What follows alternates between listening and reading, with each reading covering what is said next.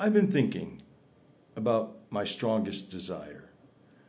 It's something that I'm at an age where I think maybe I should slow down a little bit and maybe start enjoying other things, but it doesn't seem like I can. For me, that's travel.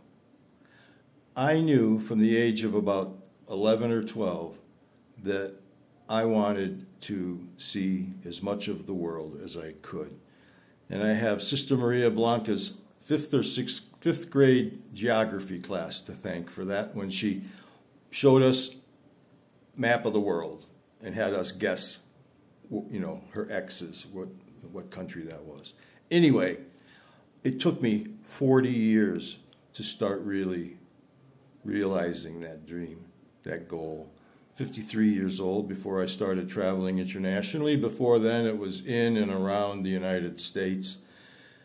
So for the last 16 years, I've been doing a lot of international travel, mostly because I've lived abroad all those years as well.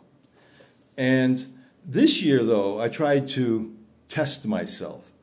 I said, Michael, you have a theater project in the January, you're filming a short movie in May and you want to do another theater project at the end of the year. So this year, you don't do any international travel.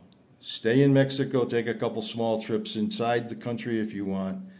No international travel. I couldn't do it. I'm thinking, all right, so I was I, I, got back from Italy last year in November, and if I don't go somewhere until like March of next year, that's almost a year and a half. I can't do it. So I booked a trip to Spain in September for two months. And uh, I'm glad I did because it would have drove, driven me crazy if I hadn't. Travel is something I have enjoyed and I hope to continue it for several more years.